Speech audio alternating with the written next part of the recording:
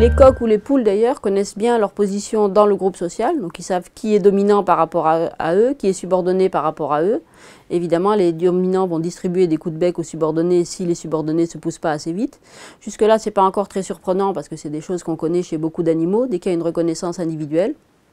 Mais ce qui est plus intéressant, c'est qu'ils sont aussi capables d'observer ce qui se passe entre deux autres individus.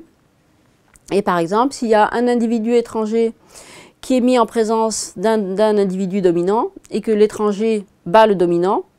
euh, l'observateur qui est subordonné par rapport au dominant va être capable d'utiliser une relation transitive, c'est-à-dire de se dire cet étranger est plus fort que mon dominant, qui lui-même est plus fort que moi, donc je n'ai aucune chance, il vaut mieux que je m'éloigne dès que l'étranger arrive.